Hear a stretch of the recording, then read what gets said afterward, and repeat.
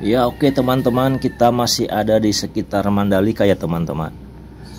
Kalau di Mandalika kita tidak mampir ke sirkuit Mandalika sangat rugi ya teman-teman. Nah mumpung kita masih di sini kita sempatkan untuk mampir terlebih dahulu di sirkuit Mandalika ya teman-teman. Salah satu ikon Indonesia di dunia internasional teman-teman.